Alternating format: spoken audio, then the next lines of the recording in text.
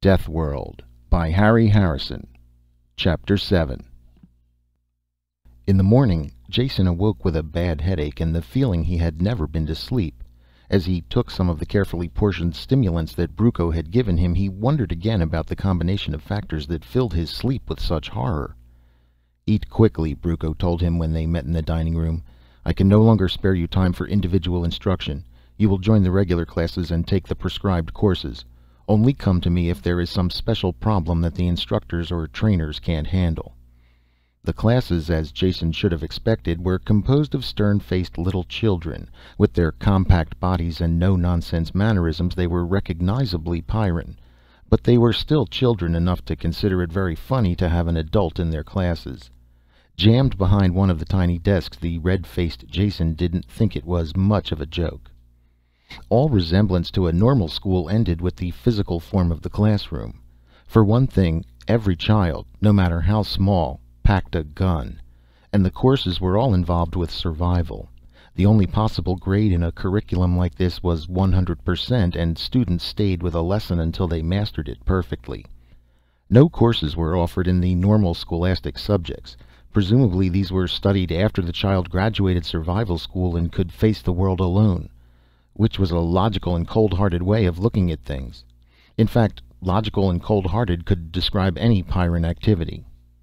Most of the morning was spent on the operation of one of the medikits that strapped around the waist. This was a poison analyzer that was pressed over a puncture wound. If any toxins were present the antidote was automatically injected on the site. Simple in operation, but incredibly complex in construction. Since all Pyrrans serviced their own equipment you could then only blame yourself if it failed they had to learn the construction and repair of all the devices. Jason did much better than the child students, though the effort exhausted him. In the afternoon he had his first experience with a training machine.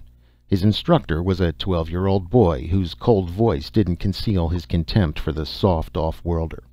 "All the training machines are physical duplicates of the real surface of the planet, corrected constantly as the life forms change. The only difference between them is the varying degree of deadliness. This first machine you will use is of course the one infants are put into " "You're too kind," Jason murmured. "Your flattery overwhelms me." The instructor continued, taking no notice of the interruption. "Infants are put into as soon as they can crawl. It is real in substance, though completely deactivated." Training machine was the wrong word, Jason realized as they entered through the thick door. This was a chunk of the outside world duplicated in an immense chamber. It took a very little suspension of reality for him to forget the painted ceiling and artificial sun high above, and imagine himself outdoors at last. The scene seemed peaceful enough, though clouds banking on the horizon threatened a violent Pyrran storm. "You must wander around and examine things," the instructor told Jason. "Whenever you touch something with your hand you will be told about it. Like this." The boy bent over and pushed his finger against a blade of the soft grass that covered the ground. Immediately a voice barked from hidden speakers. "Poison grass. Boots to be worn at all times." Jason kneeled and examined the grass. The blade was tipped with a hard, shiny hook. He realized with a start that every single blade of grass was the same. The soft green lawn was a carpet of death.